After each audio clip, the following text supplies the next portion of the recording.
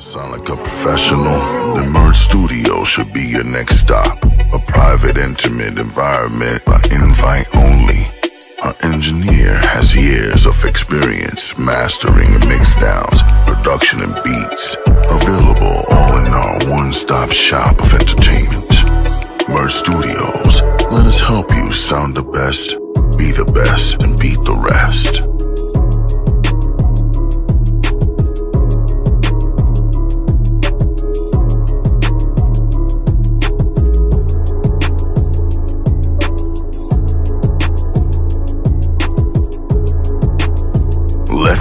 Together at Merge Studios.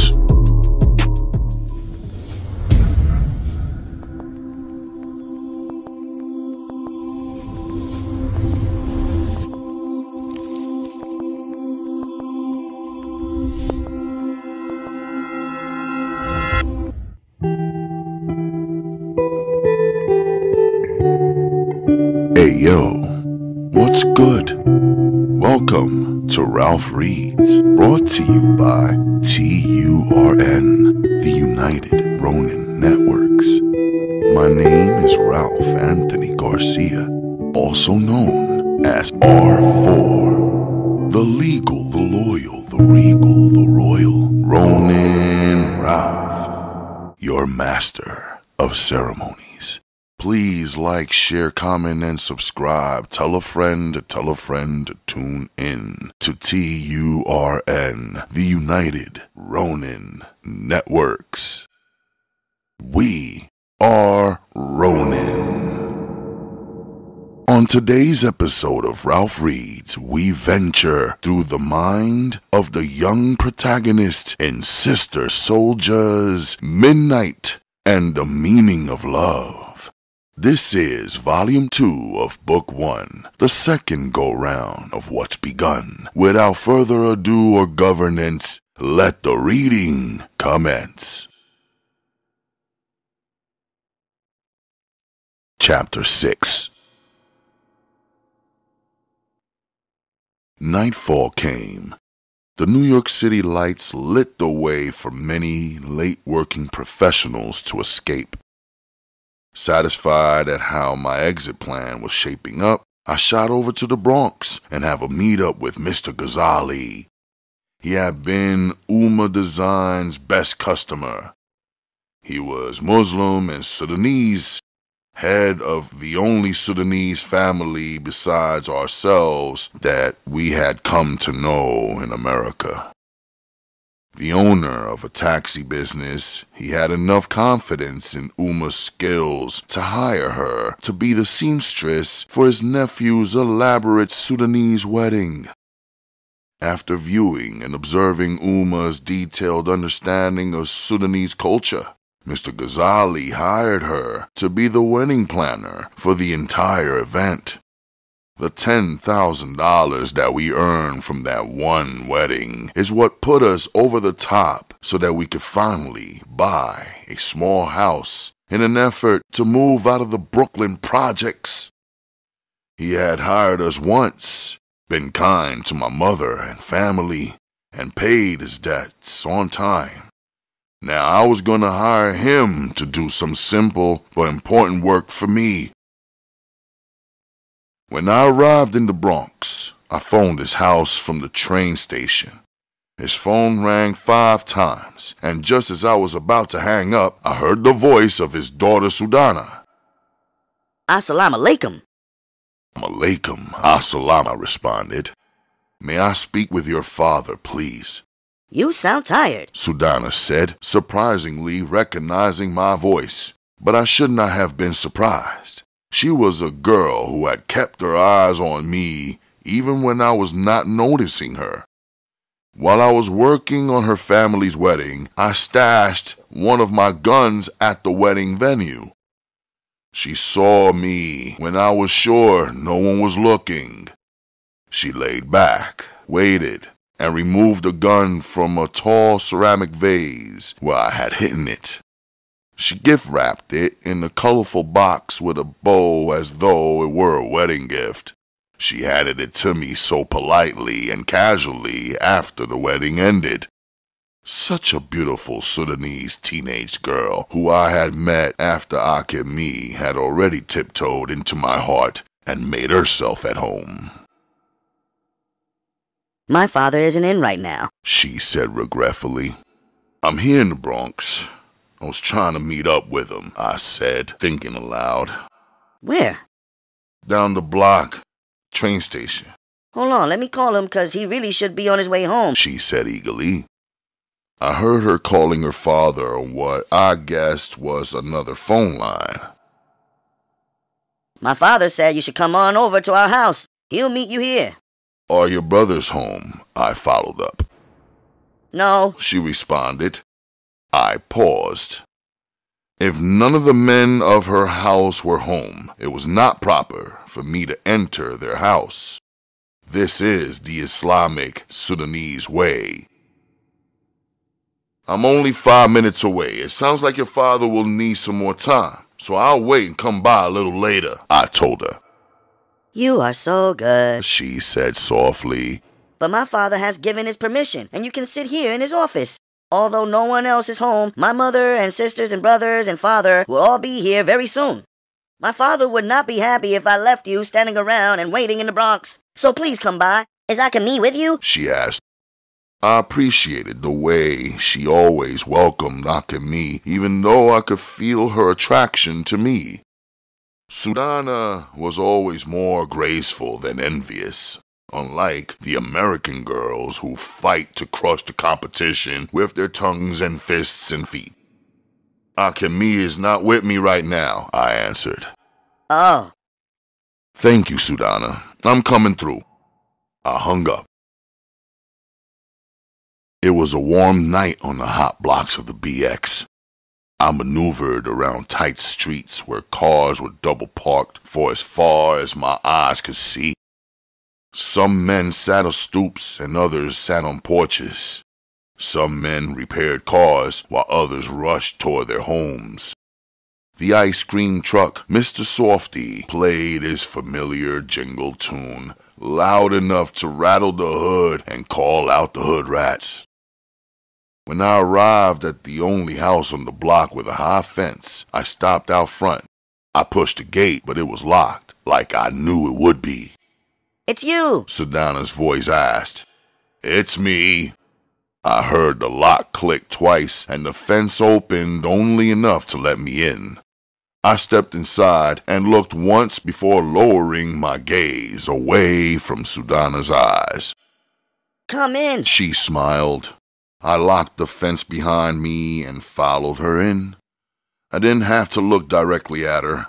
Easily, I could just be guided by her scent.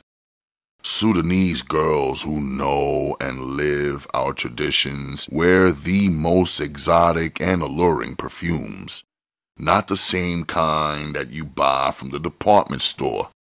They were handmade ones from centuries ago that merge with each person's personal chemistry and give her an unforgettable and unique identity. A woman's smell mixed with the perfumes that we call karma in our Sudanese language has always been unforgettable to me. I easily understood why we, as Muslim men, separate ourselves from the presence of women who are not ours. It is the subtle things that a woman does or wears that makes any man aroused if he is allowed to come too close. And every man in the world of any religion or no religion at all knows that he is or can be or will become attracted to many, many women if he is allowed to smell and come in close. Inside, I removed my Nikes. She bent to remove her sandals. I stopped myself from glancing at her feet. The inside of the house smelled like cinnamon. Sudana was cooking something, perhaps the meal for her entire family. We walked through the living room where her school textbook was wide open on the floor, along with a few notebooks, pencils, and a pen.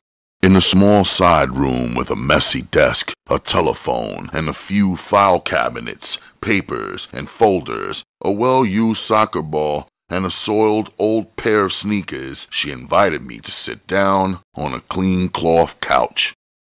I sank in like I was a member of their family, sitting in the same exact spot where any of her brothers had sat repeatedly.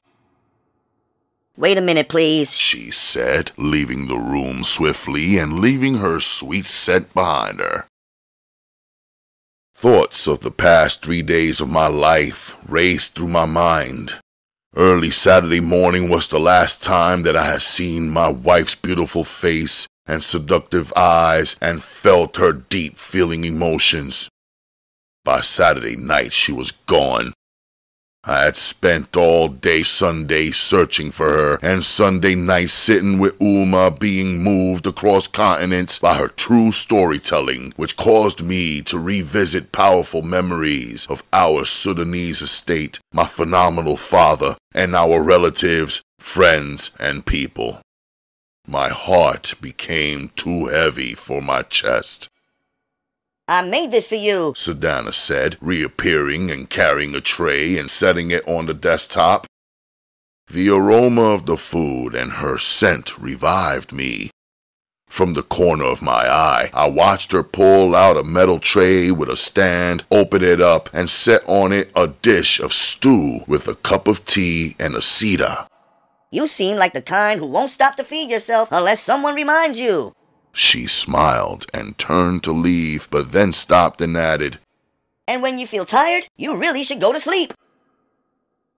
I looked in the ceramic teacup at the unfamiliar way she had placed three tiny yellow flowers in my tea. They rested lightly on top of the hot liquid. If I'd had the energy, I probably would have said, No, that's okay. I'm not hungry. I'll wait till later to eat. But Sudana was right. I was hungry and had forgotten to eat so far for the whole day. She stepped out, then walked right back in, carrying a warm cloth, the steam still rising up from it.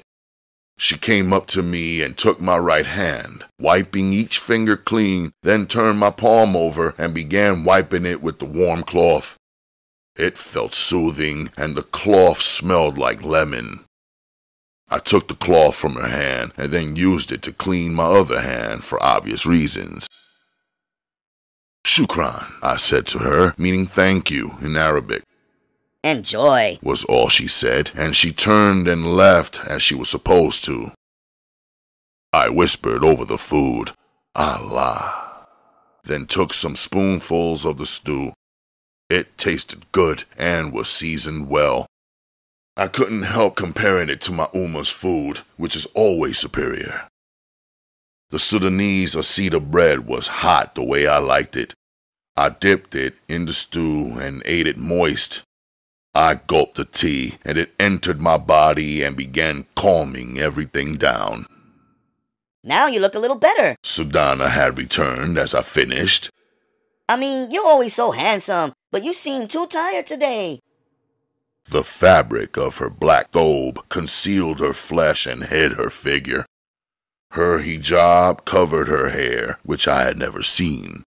She was not wearing niqab, so her pretty face, flawless skin, smooth as satin, bearing one black beauty mark which gently rested over the right side of her lip, stood out more. I avoided those hazel eyes of hers, which tended to change colors like an African wildcat. Unexpectedly, she walked up close, stood over me where I was seated, and then placed two fingers on the top of my head. She pressed. It was a peaceful feeling, this sleep, like how a body rests when it feels at home and in a safe place.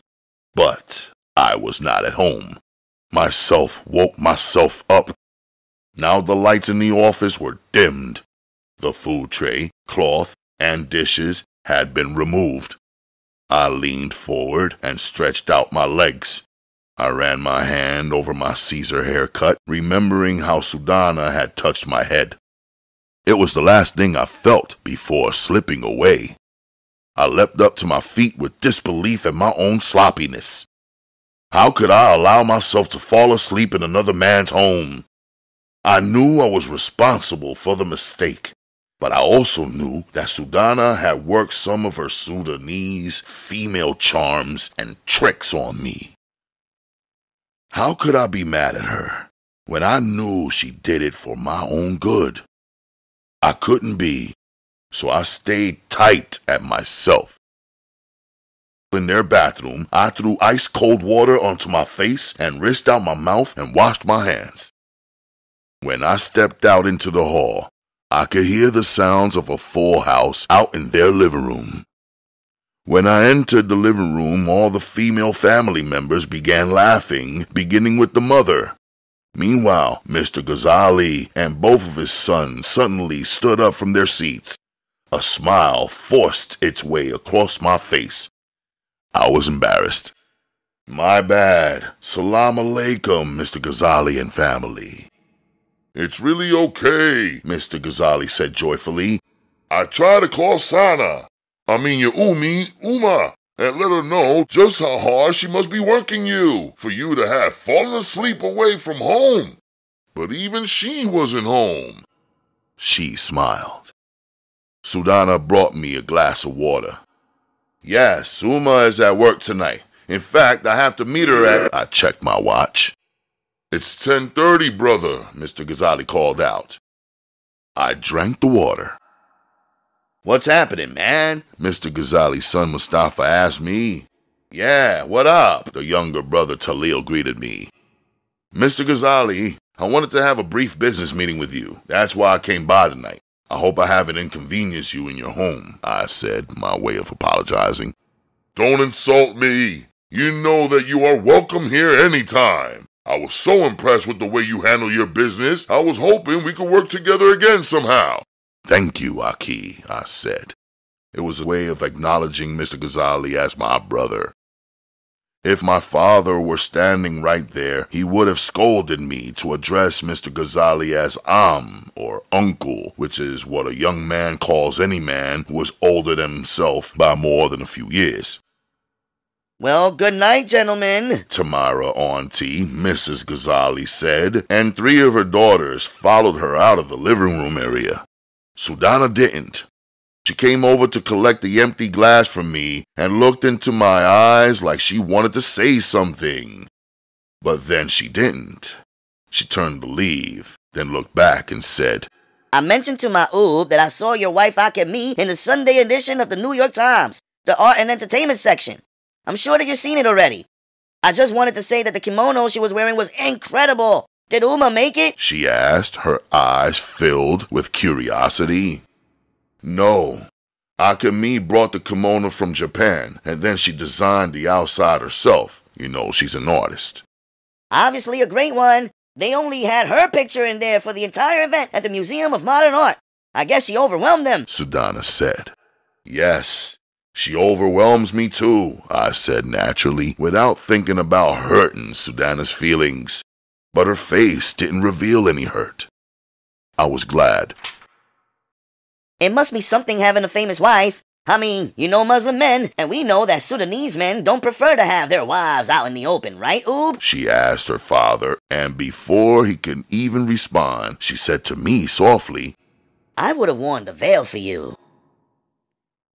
It was a bold statement for a Sudanese girl, especially in the presence of her father. More than that, it was a polite offer. Sudana, let the men talk, Mr. Ghazali said, dismissing his daughter. She turned and left obediently without a word of protest, as it should be. Outside, Mr. Ghazali sped his taxi in reverse down his driveway, stopping abruptly right before his fence. He waved me into the front seat. I got in. He got out to open the fence. His sons emerged from the dark corner of the yard to lock the fence back up. So what's going on? Mr. Ghazali asked. I have to make a trip to Japan, I told him, getting right into it. Whoa! Japan! Sounds nice, but very expensive. You know, they say it's the third most expensive country to live in in the world. I had a guy in my cab once telling me a slice of fish out there is $8. $8! They'll slice one fish up 10 times. They're selling one medium sized red snapper for 80 US dollars. 80 US dollars! If I were living out there, I'd have to turn my whole family vegetarian overnight just trying to make it. He made a sound of disapproval with his teeth that most Sudanese make and understand. My Uma and my young sister Naja will stay in New York. That's what I wanted to discuss.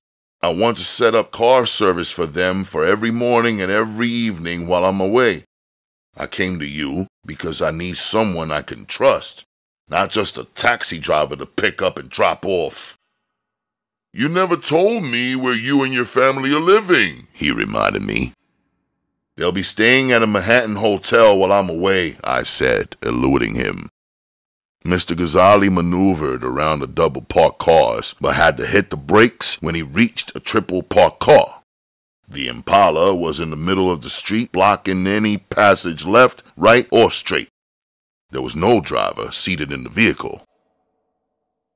I lost a good driver from the Ivory Coast this way, he said, sitting behind the parked car without honking or cursing. My driver leaned on his horn on one of these Bronx streets where people park like they're crazy. Some 16 year old kid without a driver's license or insurance ran downstairs and shot him dead for blowing the horn too loud. The kid jumps in the car and speeds away, leaving my driver's bloody body behind. A valuable life lost for no reason. This is what I've been trying to say to you, young brother. You don't need to explain to me what you want out of life or how you want your mother and sister treated. We are Muslim. We are Sudanese. We both understand and want the same exact things. It's these animals out here, he said, pointing to the people lingering on the block. It's them who don't understand or care. They got no God, no boundaries, no limits, no respect for life. Just then, a man dashed out of the building shirtless, jumped in the car that was blocking us, and peeled off. No acknowledgement or apology, straight New York ghetto style. Mr. Ghazali waited five seconds and then drove on. So you need someone to make sure that your mother and sister are secured. You need a driver who will go inside if he doesn't see them waiting where they're supposed to be, and someone who will not pull off before they get inside safely at night. Yes, Aki, I answered, appreciating not having to exchange too many words about a simple but important plan. And the reason they are staying in the hotel instead of with their new friends is? He asked, checking my face and quickly moving his eyes back to the road. I don't want to burden you with my family. I just wanted to hire your car service because I would feel more comfortable knowing and trusting the person who is transporting my mother and sister. I can pay for the whole thing in advance I don't know exactly how many days I will be gone, but I'm trying to keep it under one week. Mr. Ghazali pulled over. Get out, he said calmly. His command threw me off for a second. Then I reached for the handle and opened the taxi door. With one foot in the cab and the other on the curb, I pulled out a small stack of bills and peeled off a five to pay him for taking up a brief time in his cab. He didn't move to accept it. I thought maybe it was not enough and that somehow the small amount had insulted him. So quickly I peeled off a 10 and extended my arm again. I don't know the story of your life, young brother, but I can see that there are no friends in your world. You say you want someone who you can trust, yet you trust no one. No man can do his time alone on this earth. This is why we have the Muslim Brotherhood. I invited you to our mosque. Yet you haven't shown your face there at Juma prayer. Is there anything that unites you and me other than this paper money? He asked me with a stern stare at the measly ten dollars. I went deep inside my own mind. My father had everything land, an estate, money, power, family, and friends. In fact, the Muslim Brotherhood met on our property. Men bent in daily prayer at our mosque, whose children attended the madrasa at our estate, whose wives worked and entertained with my mother. But something did go wrong. And it went wrong enough for me to be standing in the streets of the BX and living in the projects of Brooklyn and grinding on American soil, not the rich earth of the Sudan, where I, my mother, and father, and father's father, and father's father's father, and so on, were born. If my father, a brilliant and bold, degreed, rich, and successful man, could not win and rely on the trust of men in the end? Why should I expect it now? My father is so much better than I am. I don't know, Mr. Ghazali. Holy Quran says that Allah is sufficient. I answered with the only truth that came to mind right then. Yes, and your mother's name is Uma. A powerful name, Uma. That word means the community of Muslim believers. The believers have got to stand together, worship together, protect together, fight together, and eat together. He searched me for a response. I didn't have one. It's only a few days. Your Uma and sister are welcome to stay in our home. My wife already loves your mother and young sister. My daughter Sudana admires you, so of course she loves your mother. It is only you standing on the outside. Let me be a help to you. You know well that my Uma cannot sleep in your home when you have two grown and unmarried sons. And there is also you, Mr. Ghazali. I looked him in the eye. Of course, but there is a separate apartment downstairs. Your mother and my wife were planning to have a woman's business there, remember? Uma can use that apartment. It's well furnished, with a small kitchen, a separate entrance, and a separate key, he told me calmly. I listened, but questioned his eagerness in my own mind. I think my seconds of silence insulted him somehow. Sure, you can choose to put your family in a hotel, there, they will be surrounded by kafirs, non-believers. Unmarried or married, untrustworthy either way, he said with a stern sarcasm. How much do you rent it for? Eh? Your basement apartment. Six fifty per month, he said, exasperated, as though he pronounced the first figure that popped up in his head and had never really rented out his basement before. Okay, I'll bring you 650 tomorrow, plus the transportation fees. I got out and shut his taxi door, leaned in, and handed him now a $20 bill. He took it. I wouldn't be surprised to see you as the Prime Minister of the Sudan one day. So much power, business, and intensity in such a young brother, he said. Good night, I told him before walking away.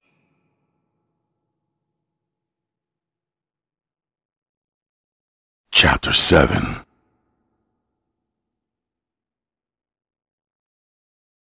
It was well after midnight when I carried my seven year old sister on my back to our Brooklyn apartment. Uma said, She should really walk on her own two feet. Naja said, But Uma, you two have been now having fun without me. Can I at least get a ride on my brother's back? Out having fun. Uma replied softly, in her way. Then she looked at me and said, You see? Naja clenched me tightly with no plans of climbing down before the elevator reached our floor and she was delivered to her bedroom. Uma was right, as she usually is. Naja is our protected princess who has no real idea of worry or struggle or stress. I thought that was good. I planned to protect my sister and keep her hidden away from those things that should never be revealed to little girls. In our traditions, a young girl lives under the protection of her father and brothers until she becomes a young woman. Then the father and her brothers will marry her into the protective care of her tried and tested, carefully chosen husband. As I looked into Uma's eyes, so striking behind her niqab that shielded and covered everything else, I could see and feel that she was worried. I thought to myself, Uma, don't you worry. If you are uneasy, I will not move one inch from your side. I will stay right here with you. But Uma noticed me noticing her, and she cleared her worries and lowered her gaze. Tuesday, May 6, 1986. We made Fajr prayer together, my mother, sister, and me, followed by a warm and comfortable breakfast. Uma and I did not discuss the details of my Japan trip until after Naja was safely seated in the school bus to Khadijah's Islamic School for Girls. Naja waved as the bus eased off. She was so happy this morning because she had her sitter, Miss Marcy, Uma, and me all escort her to the bus. Usually, Uma and I are already on our way to Uma's job, and Naja is left in the care of Miss Marcy and walk directly into the care of the teacher who travels with the students on the bus. But today, Uma would not report to work until 4 in the afternoon.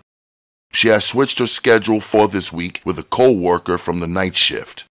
She and I both agreed that there was more planning and work for us to do than time to do it. She also wanted to complete some products for me to deliver to Uma Design customers before I left for Japan. When you go to see the jewelers again today, you should also select a gift for your father-in-law. Uma said. She slid an old high quality jewelry box across the table. Why should I? He stole my wife, I answered swiftly yet respectfully. I opened the box. It was a Rolex Datejust. The hands of the clock were paused in time. The crystal was cracked. I had never seen it before. Your wife is his daughter. Our family has not ever been able to meet and greet him properly. We haven't offered him anything, yet he gave me such a lovely daughter-in-law. You just have to go there and ease his fears. Once he sees you and discovers how respectful you are toward him and sees how much Akemi is in love with you and you with her, his heart will soften toward you. If it does not soften toward you, he will certainly soften his heart for his daughter. Remember that even though we feel sad and insulted and ashamed that Akemi is not with us, he stole her away out of love more than cruelty. I was not focused on feeling any sympathy towards Naoko Nakamura. I was keeping him right where he needed to be in my mind just in case I had to do him something. I slid the box containing the Datejust in my pocket. Uma, I thought I saw worry in your eyes late last night. You know I won't go anywhere if I see that. I was watching her closely. I was just tired and I was also thinking too much. After you told me on the train about the arrangement with Mr. Ghazali, I wondered if he had asked his wife first if it was okay for me to stay with them while you were away. I didn't give him a chance to speak with her first. I rode in his taxi with him and we talked it out right there. He was on his way back out to work for the night. I see. Uma said, sounding hesitant. You know the Ghazalis are new friends to our family. It has been good for me because Tamara Auntie doesn't ask me personal questions. It is as though our friendship began from the moment I took her and her sisters and daughters' measurements for their garments for their nephew's wedding. And she and I have moved forward from there without ever looking back or discussing the past. I appreciate her for that very reason. If I go stay over there at her house, it may all very well change. Then come to Japan with me, I said with a smile. I was serious and sincere. She pushed away and hit me on my shoulders as though the idea was ridiculous. We have spent every penny of almost $100,000 on our new house, and I love it. Now we have minus three pennies left. She laughed. You go on and get your wife, and Naja and I will stay at Mr. Ghazali's. Naja will be excited living in a house with such a big family, and her Arabic will improve, I'm sure. Uma brightened all the way up to reassure me that she was okay. You know, Uma, even though you and Mrs. Ghazali have become friends, I handle this as straight business. It's their house, but it's a separate apartment, separate entrance, separate key, and rent. I know you have made it right for me, and I know their basement apartment is very nice. It is where Tamara Auntie and I plan to have our Sudanese women's groups meetings, so I am sure it will be fine. I stood up from our kitchen table where Uma was seated. I needed to grab my things and head out to the Diamond District. In my room, I stood still thinking. After 20 minutes or so, I began flipping through a short pile of papers I had concerning my wife. In a small notebook that I rocked daily in my right pocket, I jotted down what little information I had on Akemi. The first word I wrote was Kyoto, the place where Akemi was born. The second note to myself was Kyoto's Girls High School, the place the MoMA art exhibit event pamphlet said Akemi attended school. The third note was the address Akemi had given me for her father, Roppongi Hills, Tokyo, Japan. The fourth note was the address that her father had written down for himself on our wedding documents Ginza, Tokyo, Japan. Those were my clues. I shoved the notebook in my pocket. Reluctantly, I pulled out the letter that Akemi had written to me and had delivered to Cho's, where I worked my weekend job on the exact day that she went missing. She had written it all in kanji. Maybe she had explained herself in those pages or left the name and address of where her father was about to drag her.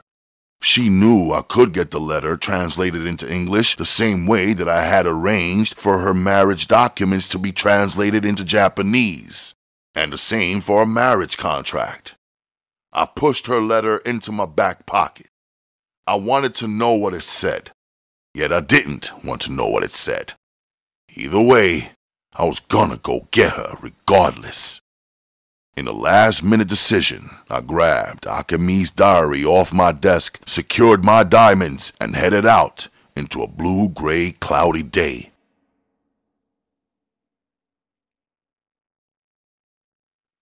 Chapter 8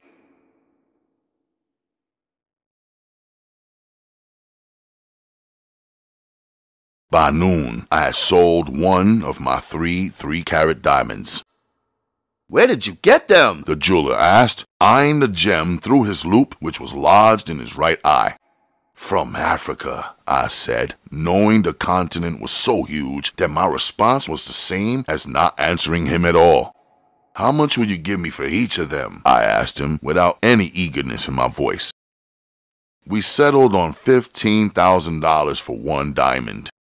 He pushed hard for a package deal on all three of the diamonds. He also tried to position his pitch as though he was somehow doing me a favor by buying the gems from me, insinuating that they were stolen and he was relieving me of my illegal goods. I smiled at the slickness of his angle, glanced around at the arrangements of counters offering hundreds of African diamonds for sale. I assured him that the three diamonds in the palm of my hand were not the stolen diamonds, and that right now only one of these precious stones was available for him to purchase. I sold him one, watched his fingers as he counted out my payment in cash, all hundreds. I saw how each pile of bills that added up to $5,000 was a half an inch high. When my stack reached one and a half inches high, I left the Diamond District with my pockets fat and the whole day in front of me. I had the watch repaired and wore it like my father had worn it years ago. I walked into the first travel agency I came up on, Liberty Travel. It was a place plastered with pictures, posters, and postcards featuring discounted getaways around the world. Your destination, please. The receptionist asked. Kyoto, Japan, I responded without any real mental picture of the country. I was good at geography, though, and could easily point out the small island on the world map. I was familiar with the country's shape and size, and even the ocean that surrounded it. But that was all. Please have a seat, and our Japan agent will be with you in a moment. When would you like to travel? The Japan expert asked. Right away, I answered. She looked up from her terminal with a twisted smile. Like this afternoon or tomorrow? She said with sarcastic disbelief. How much is the ticket? I asked to keep it business. Are you in the military? She asked me oddly. No. Can I see your passport? She asked, like an officer of the law, but I didn't have my Sudanese passport on me. I didn't realize that I needed to present it to the travel agent. It was in Brooklyn, locked in Uma's chest with papers that Uma would say, if lost, would make each member of our family invisible. You need your passport. This is a big trip, aside from the fact that by ordering the ticket at the last minute, you lose all of the discounts that you could have benefited from if you had come in two weeks to one month prior to your departure date. No one just hops on a plane to a country that's 7,000 miles away without being prepared. If you don't have a passport, you need to go and get one. The passport office is next door to Rockefeller Center. It's open till 6 p.m. today. You're an American citizen, right? She asked. Her question jarred me. I had recently gotten my American citizenship papers, but I am 100% Sudanese. On second thought, I would have to get an American passport now that my citizenship was official. How long does it take to get the passport? I asked her. Six weeks, she said grimly. I sat frozen in my chair, but was rapidly defrosting as the heat began to rise up from my feet, climbing and spreading into my chest. Well, you don't need a passport to buy the ticket from me. We asked for it because your airline ticket must show the exact name that appears on the passport. But you will need the passport to travel outside of the United States. If you purchase an airline ticket from me right now, you can take the ticket plus an express fee over to the passport office and receive your passport in three days' time. But the plane ticket is going to be expensive, she warned. I eased back in my seat. That's more like it, I thought to myself. I was relieved that the conversation looped back around to Cash being able to make shit move. That's what I was accustomed to. Let's do it, I told her and gave her my exact name as it appeared on my American citizenship papers. Date of departure? She asked again. Friday, in three days when I'll have my passport, I answered.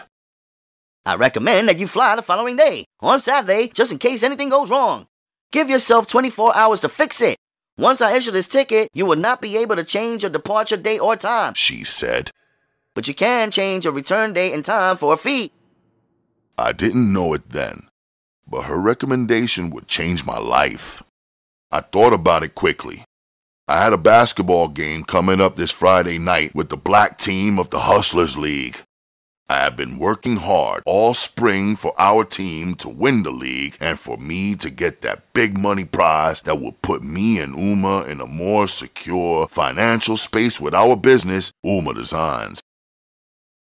I thought about it further Every minute and every day that I delayed or that passed me by put too much distance between me and my wife and too much opportunity for anyone who was trying to.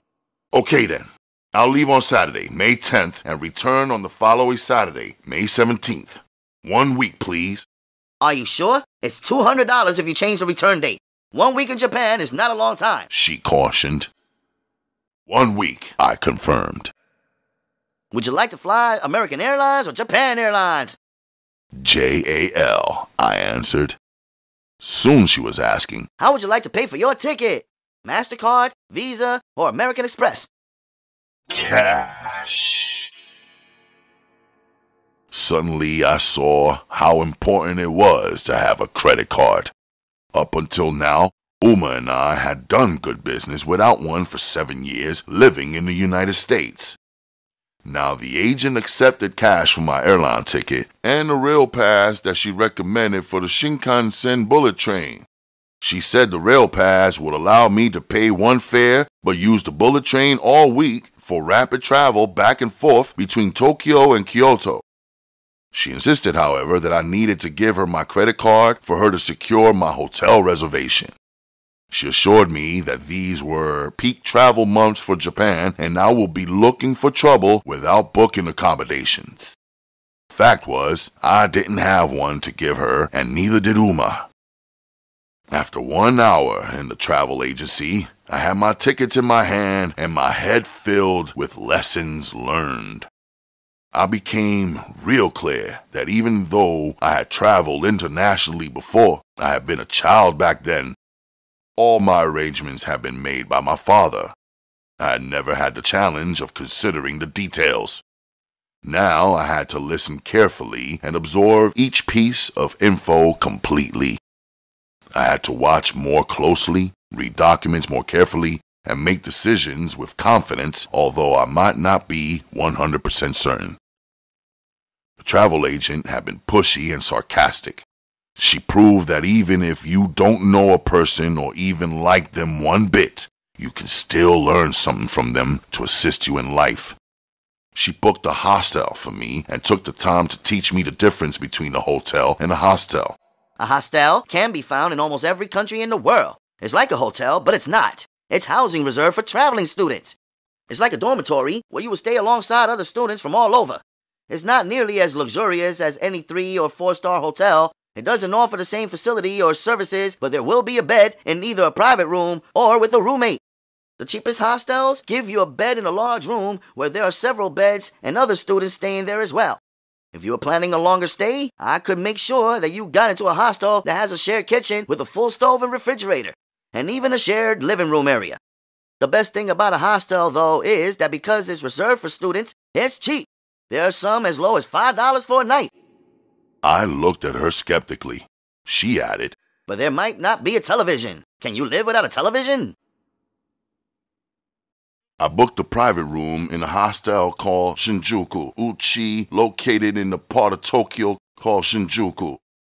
I could pay in cash once I arrived there, and all I needed to check in was my passport and any student identification card.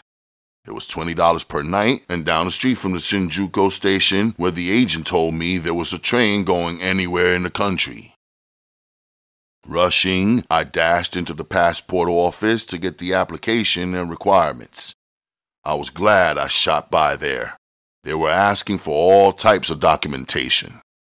Now that I knew the deal, I wouldn't give them any chances to delay my passport for any reason. I planned to return there in the morning and be the first person to get my joint processed. Precise Translations was located downstairs in the same building as the passport agency. I stood outside their door, gripping Akemi's diary and debating with myself. Nine minutes later, I submitted the letter that Akemi wrote to me in Japanese for translation into English. This was a new translation company for me. The one I had used for everything else involving Akemi and me was on the third floor. I decided not to return to the same company because maybe they already had too much information on me and my young wife. Now, I wanted to believe that these translators remained neutral, minded their business, and just interpreted the words on the paper. What if they didn't? What if the battle between me and my wife's father thickened? I didn't want to be using the translator and paying for the translations that might later be used as evidence against me. I held out her diary, but then decided against requesting a translation of it. Although it might contain all the information I needed, it seemed too personal. I thought about Uma and how private she was about her journal and papers and pocketbook. The same respect I will give to Uma, I should give to my wife, I decided. At my bank, where Uma's account was and the teller knew me from placing our deposits regularly, I deposited $3,000 of the cash I was holding into Uma's bank account. I also purchased $1,000 worth of American Express traveler's checks for my use. The travel agent had recommended this also, and when I checked her reaction when I first tried to book a hotel room with cash, I knew that if I had a few traveler's checks, certain establishments would consider me more legitimate than if I was moving around only with a pocket stuffed with dough. At the Travelex Money Exchange, I stood on a short line checking out the long list of countries and the names of the money they used. The world was a lot bigger than the American dollar. There was the Sudanese dinar, the Chinese yuan, the German mark, the Indian rupee, the South African rand, the English pound, and the Japanese yen. I pushed 1,000 American dollars through the small curved slot at the bottom of the thick bulletproof glass. The teller turned it into Japanese yen. After being used to handling American green dollars, which were all the same color, shape, and size no matter the amounts, the Japanese yen looked like play money. There were pictures of Japanese men on each bill, some bills tan, some colored blue. The only similarity to American money was that it was all plastered with old men wearing weird hairstyles that I would never rock. They were looking real grim.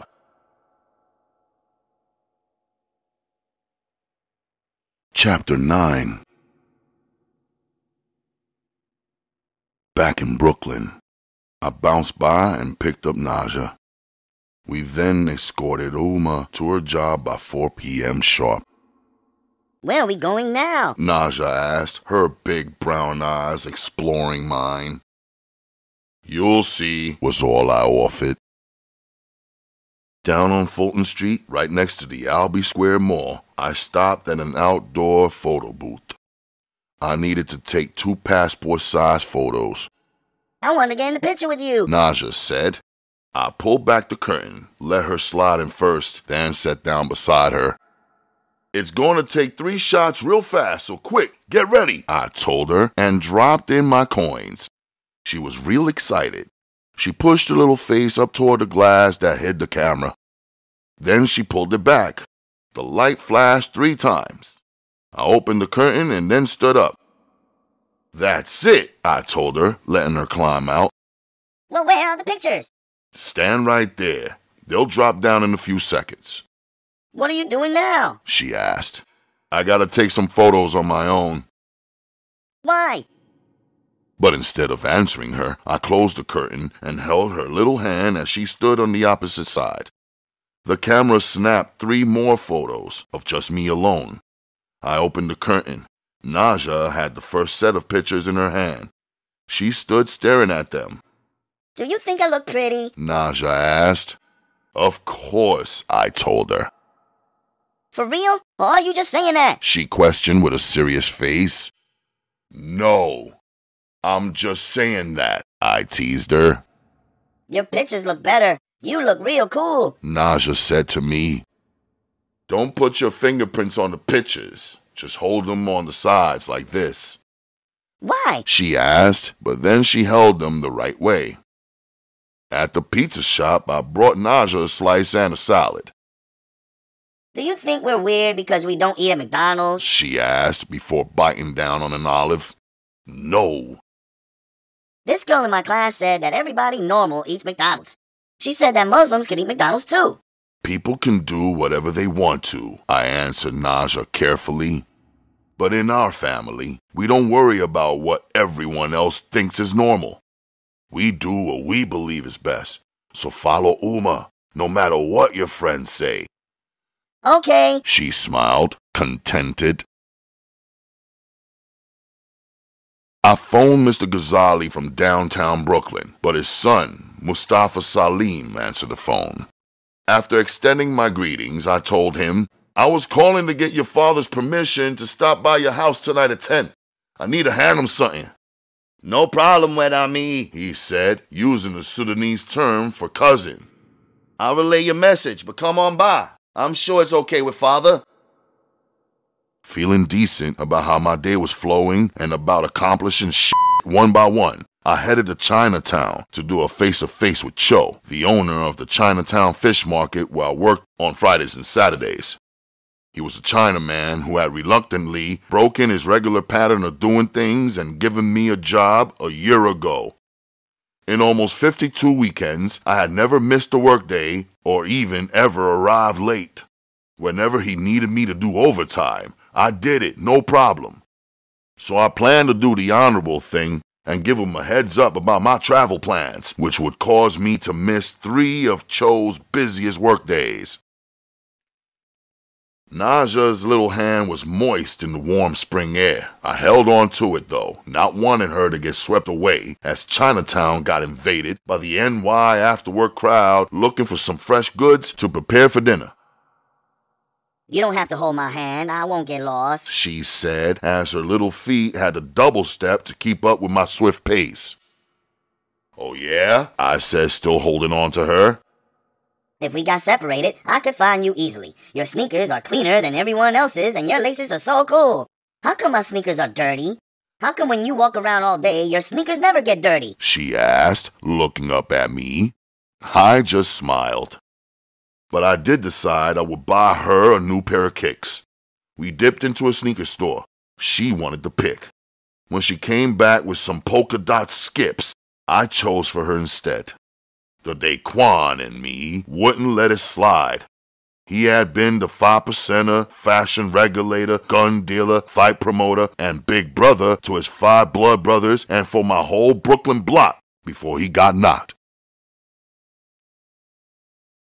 Cho and his nephew Chow were in a rhythm, satisfying the customers and knocking them off the line one by one. I waited till the small crowd cleared. What do you do here on a weekday? Cho questioned. I came to give you a heads up. This weekend I'm going to work Friday like regular, but I have to take off all Saturday the 10th and the following weekend the 16th and the 17th.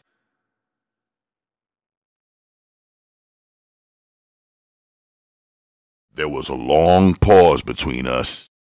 Cho looked like he was thinking real hard about my simple and clear request. Just then, I saw Sachi, Akemi's young cousin, walk up and sit down beside Naja outside Cho's door. I'm letting you know now to give you enough time to get someone to fill in for me, okay? I asked, but I was definite. Cho folded his arms across his chest. You chase Japanese girl to the end of the earth. Since I don't discuss my wife with other men, I didn't answer Cho. I knew that he knew that my letting him know was a courtesy, not a request. I'll see you on Friday morning, Cho. Don't count me out. I'll be here for sure, I reassured him. He mumbled something back at me, some sentences spoken in Chinese, so I figured he must be talking to himself. Eight year young Sachi jumped off the steps and put her hands right on her hips, where she liked to keep them. She was calling me by the name that Akemi called me. Mayonaka, meaning midnight in Japanese. Naja followed behind her. Before the little Japanese girl could start dropping her word bombs, her father, who was also my wife's uncle, appeared outside their family store door, which was four doors down from Cho's on the same side of the block. Oh, you better go, you know. Here comes your father. Naja warned Sachi. But the little girl only removed one hand from her hip and said through a half smile, He's only scary for you guys. My father's very nice to me. She turned on her toes to take off, and I slowed her down. We'll walk over with you, I said. She and Naja began skipping slowly. Naja got her first scuff mark on her new ACGs. Konbanwa, Uncle Nakamura, I said, using the Japanese language intentionally. Good evening. He answered in English dryly and for his own reasons, too. How's it going? How's business? I asked, even though I had just seen him on Sunday when I was searching for Akemi. I suspected that he may even call the cops on me for loitering outside of his store door, but really for loving and marrying his niece. Fine, he responded with one word only. See you next time, Sachi. Naja said. Good night, I said.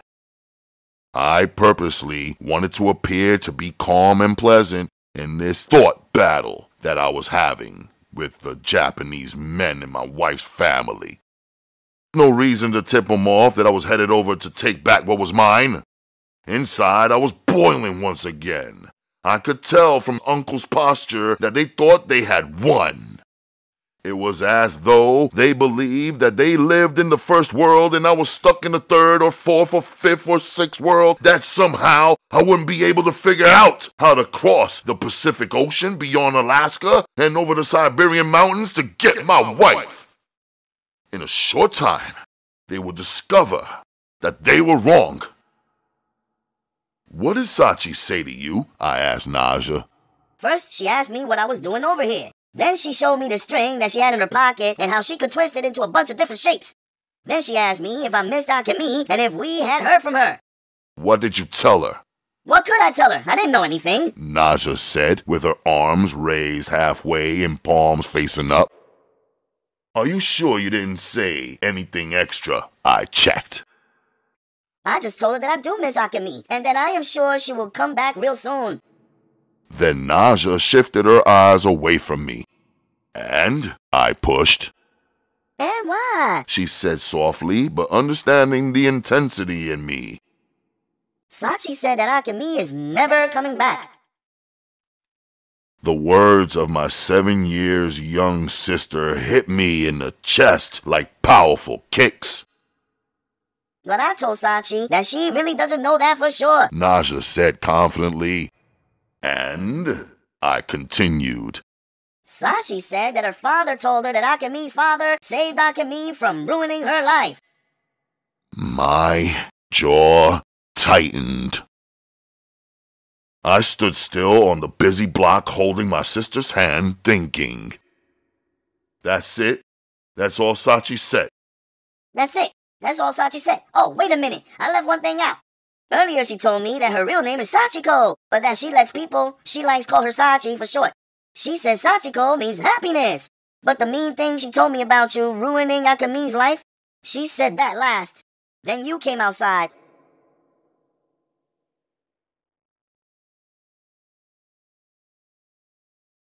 Chapter 10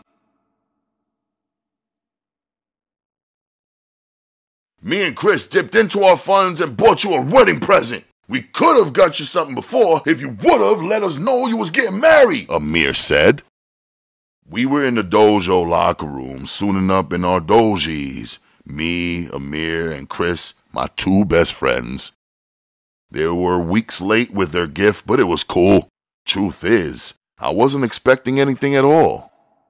So since the money came from our car fund, that means that I paid for a third of my wedding gift, I said, kidding them about the money that we all three had saved up over our seven year friendship. True, true, Chris smiled. But brother, that's not the point, Chris added. So where is it? I asked, standing with my arms extended doubtfully. It's at Amir's place, Chris said. I turned toward Amir and asked him, Is this gift something that you used first? Cause if you already used it, you can keep it. Y'all know I don't like leftovers.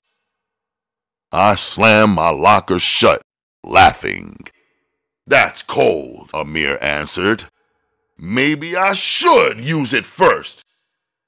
We hit the floor, taking up our positions.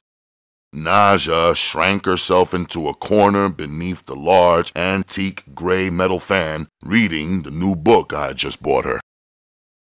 During the second dojo hour, Sensei called out for sparring. Although he always chose random partners, he tried to avoid putting me, Chris, and Amir up against one another. He put me against a muscular heavyweight instead, an old dude, about 29 or so. It wasn't a conscious choice for me to place the face of Akemi's rude ass uncle over the face of my sparring partner. Akemi is never coming back.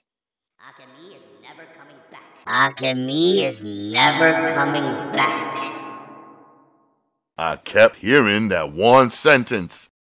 I must have heard it too much or too loud in my mind. I landed a blow to my opponent that shifted his jaw and cracked his nose. It was only a slow stream of blood running from his nose over his lips and onto his teeth that brought my mind back into focus and into the dojo. My bad, man, I said. Sensei stood staring. It didn't move me. We are warriors, and some blood gotta spill sometimes. This was not the first time someone caught a bad one in Nawa Ninjutsu Dojo. Later, outside the dojo, me, Amir, and Chris conspired in the warm night weather. What's up for tonight? I asked them. Nothing, man. You brought your kid's sister. I wanted you to come through the east tonight, Amir said, referring to East New York. Word? Chris, you headed to the east? I asked. Punishment, remember? I'm still on punishment. As we all laughed, Chris's father, Reverend Broadman, rolled up, pushing the caddy and snatched Chris up. How about tomorrow night? I could come through after ball practice, but it'll be late, I told Amir. Nah, then come through in the afternoon after I get back from school around 4.30. It'll be safer for you then. Amir glanced down at my father's watch, then smiled. You know how to eat? Yeah, you got me. I gave him a pound. I'll check you tomorrow, I said as I walked away. I wouldn't want none of them boys around my way to steal your wedding gift from you, especially after you paid for it and I used it first, Amir said with a laugh. He got that one off on me. Later, I told him and grabbed my sister's hand and kept it moving.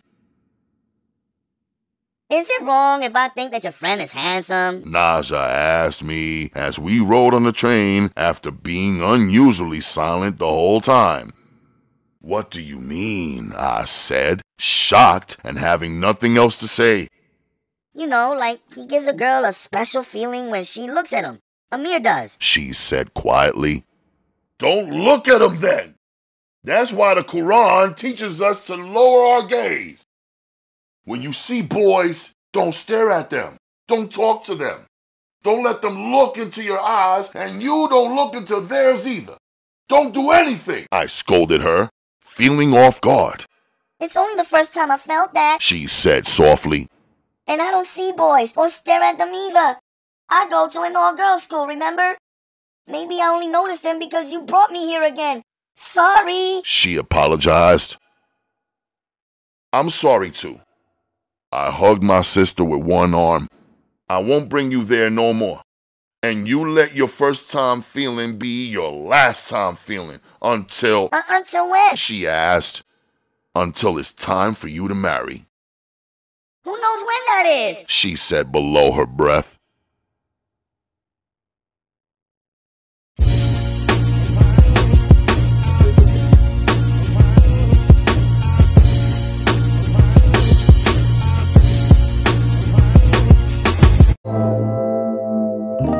Mike Mountain, and I want to give a special shout out to Ralph Anthony Garcia of the United Ronin Networks at YouTube. Make sure y'all go to United Ronin Networks at YouTube.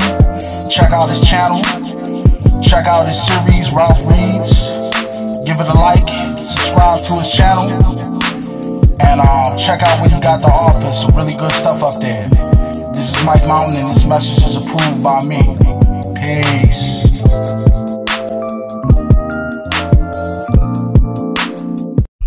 now experiencing the Renpet phenomenon, an Afrofuturistic book series.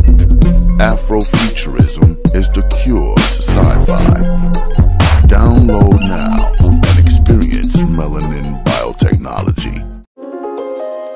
Bahala Panties, a magnetizing manly musk, hinted with a splash of light